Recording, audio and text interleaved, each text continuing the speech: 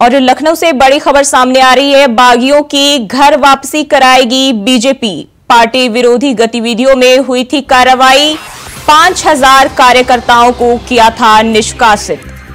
निकाय चुनाव के दौरान किया गया था निष्कासित। प्रदेश कार्यालय में करवाई जाएगी घर वापसी। पहले चरण में अवध क्षेत्र के बागियों को घर वापसी कराई जाएगी। बीजेपी प्रदेश कार्यालय में 12 बजे दिलाई जाएगी सदस्यता। तो बीजेपी में जो बागी सदस्य रहे हैं, उनको एक बार फिर से पार्टी में शामिल किया जा सकता है। 12 बजे से इन्हें सदस्यता दिलाई जाएगी।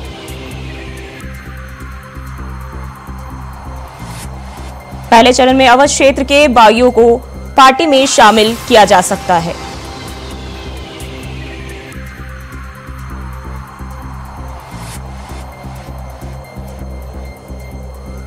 बीजेपी अपने बागी नेताओं की घर वापसी कराने जा रही है। तो लखनऊ से आपके साथ खबर साझा कर रहे हैं। पार्टी विरोधी गतिविधियों में इन्हें निष्कासित किया गया था।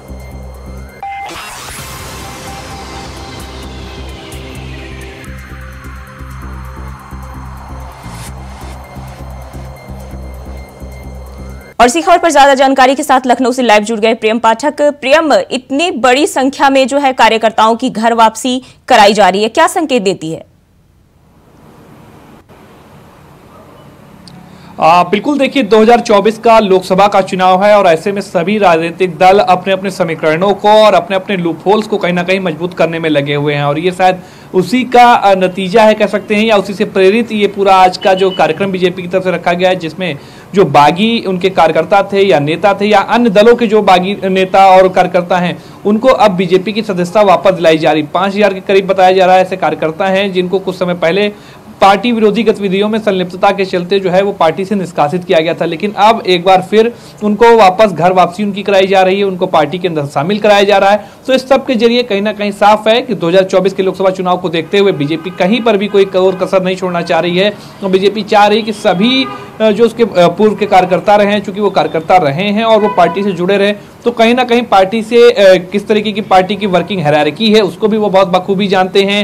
और वो एक बड़े एसेट के तौर पर बीजेपी के लिए किसी समय पर रहा करते थे, लेकिन जो पार्टी को फीडबैक मिले, उसमें पाया गया कि वो सभी पार्टी विरोधी गतिविधियों में संलिप्त थे। अब एक बार फिर उनके साथ में संपर्क स्थापित किया गया और उन सभी लोगों ने वापस पार्टी को ज्वाइन करने की अपनी इच्छा जो है वो जताई। और अब इसको ध्यान में रखते हुए पार्टी ने फैसला किया कि उनकी सभी की घर वापसी जो है वो कराई जाएगी और एक बार फिर सब एक साथ मिलकर फिर से जो है वो चुनावी मैदान में उतरेंगे। तो कहीं ना कहीं कह सकते हैं, बीजेपी 2024 के मैदान को लगातार और मज़बूत करने में लगी हुई है, अपनी दावेदारी को मज़बूत करने में लगी है और इसीलिए वो हर तरीके की पहल कर रही है। दूसरी पार्टी के नेताओं को भी शामिल करने पर, ज़ोर जो है वो दिया जा रहा है। अन्य क्षेत्रीय नेताओं को भी जो है पार्टी में शामिल करने को लेकर पार्टी जो है वो रणनीति बना रही है और अब उसके वो कार्यकर्ता जो किसी जमाने में पार्टी के लिए कार्य किया करते थे, लेकिन किन्हीं कारणों से उनको पार्टी से निष्कासित किया गया था, अब उनको वापस उनकी घर वापसी कराकर पार्टी कहीं ना कहीं 2024 की राह को थोड़ा सा आसान बनाने की कोशिश करेगी और अपनी जो सेना है, उसको मज़बूत करने की कोशिश कर सकते हैं, वो बीजेपी करती हुई नज़र आ रही है। इसीलिए आज ये कार्यक्रम रखा गया है। अब से मैच कुछ देर में पार्टी मुख्यालय पर यह कार्यक्रम होगा। उप मुख्यमंत्री ब्रिजेश पाठक जो है, वो इस कार्यक्रम में शामिल होंगे और वो इन सभी कार्यकर्ता और नेताओं को पार्टी की सदस्यता दिलाएँगे। अब से कुछ देर बाद जो ये कार्यक्रम है वो बीजेपी मुख्य प्रदेश मुख्यालय पर जो है वो आयोजित होगी जहाँ पर ये कार्यक्रम किया जाएगा और वहाँ पर कार्यकर्ताओं को पहले चरण की बात करें तो घर वापसी के लिए जो है अवध को फोकस किया गया है। राम मंदिर की सौगात देकर बीजेपी ने अवध को पहले ही साधने की कोशिश कर लिया और अब अवध के बागी जो नेता रहे हैं उनको घर वापसी को लेकर किस तरह से देखा जा रहा है?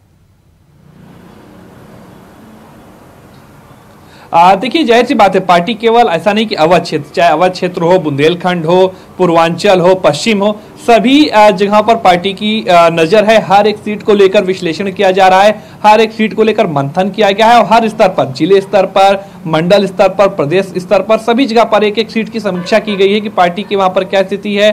कौन से उसके नेता कार्यकर्ता वहाँ पर जो है वो उनकी पकड़ अच्छी है जिनकी दावेदारी वहाँ पर अच्छी है, जो पार्टी को जिताने में अपनी भूमिका निभा सकते हैं। तो उन सभी चीज़ों को बाकायदा पूरा अध्ययन किया गया है, सर्वे किया गया है और उसके बाद ये पूरी रणनीति बनाई गई है। तो शुरुआत चरणबद्ध तरीके से की जा रही है शुरुआती चरणबद्ध में अगर बात की जाए तो सबसे पहले अवध क्षेत्र है जिसका बीजेपी ने ध्यान रखा है और उसके चलते अवध क्षेत्र में अभी फ़िलहाल पार्टी जो है वो अपनी कार्यकर्ताओं की घर वापसी करा रही है। इसके बाद अलग अलग चरणों के भी जो लोग हैं और जो अलग अलग रणनीति बीजेपी की रही, उन सभी जगह पर ये रणनीति जो है वो इम्प्लीमेंट की जाएगी। हालाँकि पार्टी इस बात को ज़रूर देख रही है सेम रणनीति सब जगह की नहीं है, जहाँ पर जैसे समीकरण बन रहे हैं, जहाँ पर जैसी पार्टी को ज़रूरत महसूस हो रही है, उसके लिहाज से पार्टी जो है वो वहाँ पे कार्य कर रही है और उस हिसाब से रणनीति बना रही है। तो फ़िलहाल अभी अवध क्षेत्र को देखते हुए पार्टी ने रणनीति बनाई है और उसी के चलते आज ही एक बड़ा कार्यक्रम कह सकते हैं बीजेपी ने आयोजित किया है, जिसमें वो अपने ही बागी नेताओं की, बागी कार्यकर्ताओं की घर वापसी करा रही है। जी बहुत बहुत शुक्रिया तमाम जानकारी के लिए।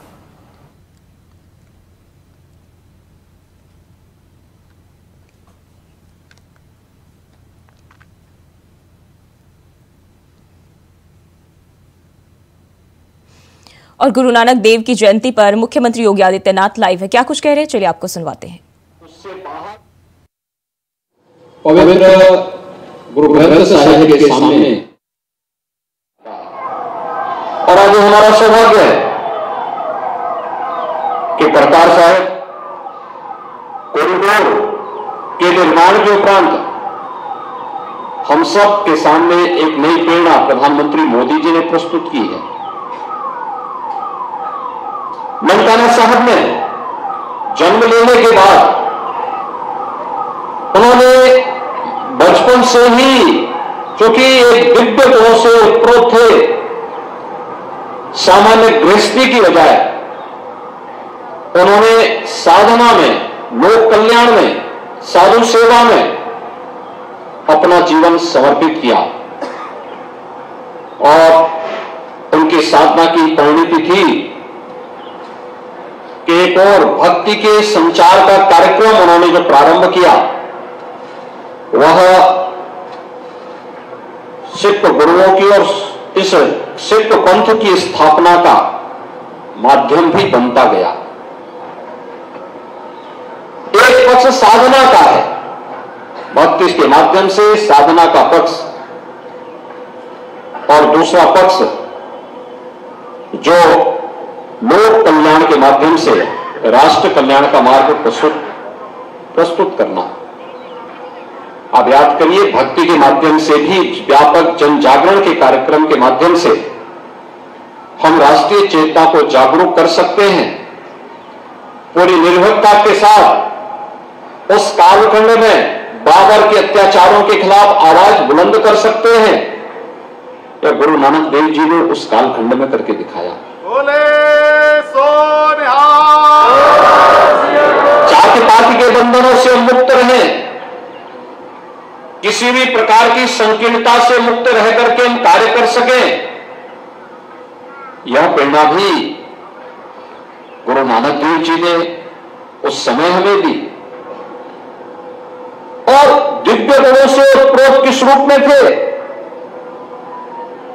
यह तो हम सबके सामने मक्का की वो घटना भी सामने आती है, जब वे जाते हैं, वहाँ के पवित्र मस्जिद में जब वह आराम कर रहे होते हैं, और वहाँ का मौलवी इस बारे में कहता है कि आपने पैर उधर क्यों कर रखे हैं, जहाँ मदीना की ओर क्यों कर रखे हैं?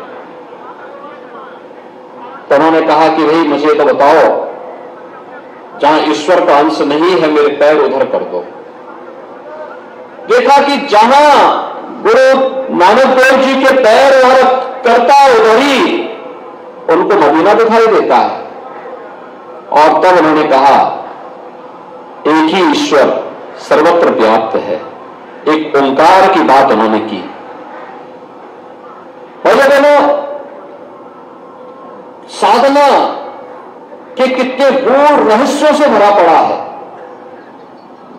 सिख पंथ किसी से छुपावा नहीं है।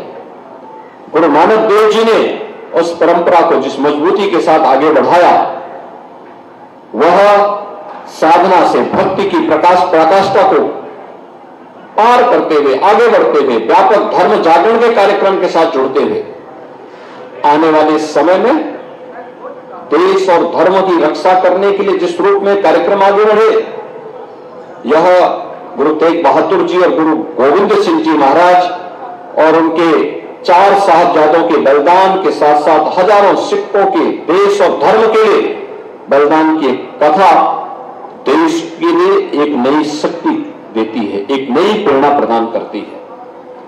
ये हमारा सौभाग्य है कि 19 नवंबर को हमें इस लखनऊ में खालसा चौक की स्थापना का सौभाग्य प्राप्त हुआ।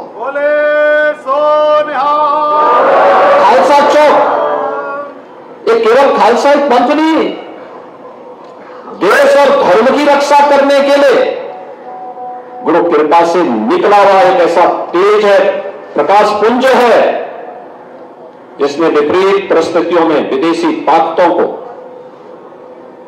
झुकने के लिए मजबूर किया था। खालसा पंथ की स्थापना मुगल सल्तनत की पतन का कारण भी बनता है। और आपने देखा होगा धीरे धीरे करके जो मुगल कभी भारत के अंदर छाए हुए थे। सिख तो आज पूरी दुनिया के अंदर छाया हुआ है। जहाँ कहीं देखो, आपको सिख मिल जाएँगे। लेकिन वो मुगल सत्ता कहाँ चली गई? कोई पूछता भी नहीं है। क्योंकि ये सच का रास्ता था, धर्म का रास्ता था। गुरु गोविंद सिंह जी महाराज ने, उनके चार चार साहबजादों ने क्या उम्र थी? ये उम्र जो खेलने की होती है। उस उम्र में सरहिंद के लिए, देश और धर्म के लिए। उस समय तो औरंगज़ेब उनको झुकाने का प्रयास कर रहा था। एक बार केवल इस्लाम स्वीकार कर लो। लेकिन उनके दो छोटे पुत्रों ने कहा, नहीं, ज़िंदा दीवाल पे चनवा लिए गए। दो पुत्रों ने साहबजादा अजीत सिंह, साहबजादा जुजार सिंह ने युद्ध लड़ते हुए वीर गति को प्राप्त की, लेकिन दुश्मन के सामने कहीं झुके नहीं। और यह हमारा सौभाग्य है जो वर्षों से मांग थी,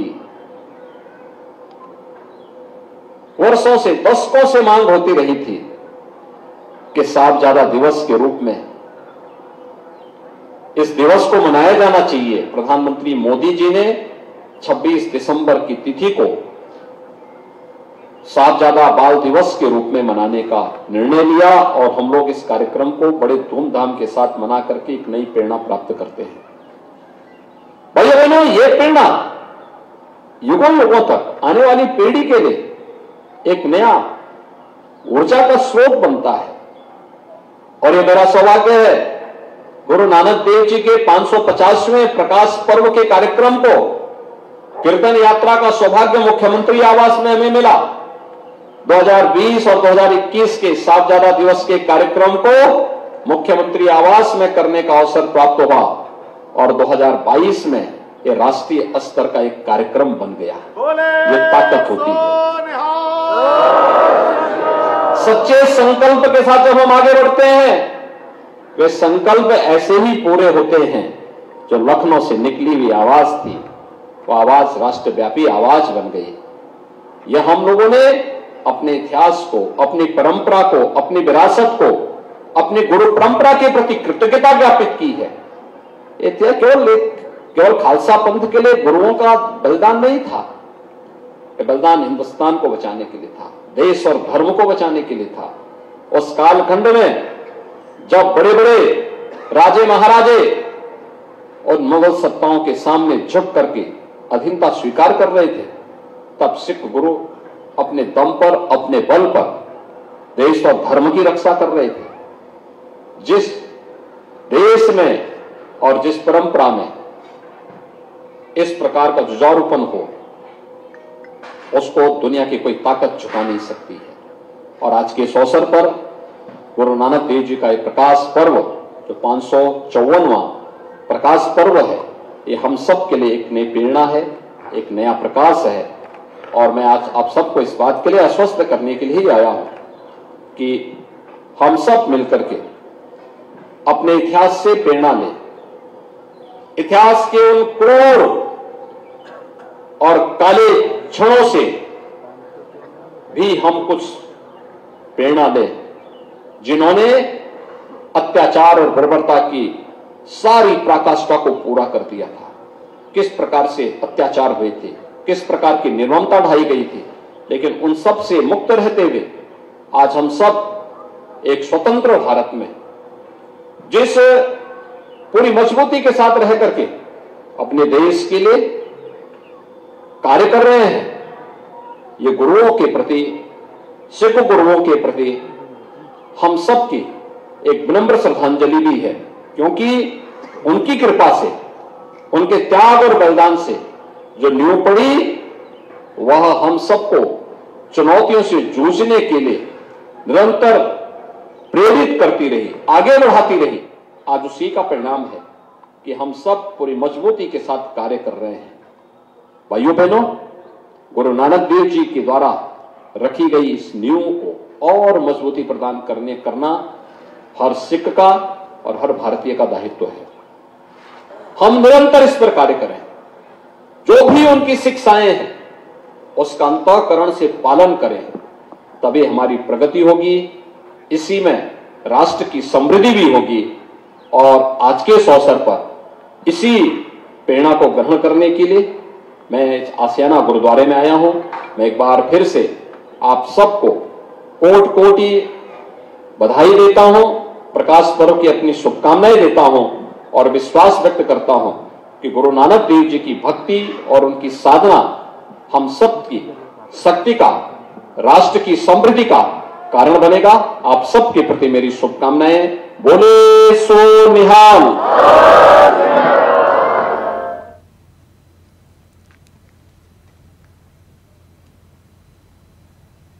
और बुलेटिन में फ़िलहाल के लिए बस इतना ही। खबरों के लिए बने रहिए इंडिया वॉइस के साथ।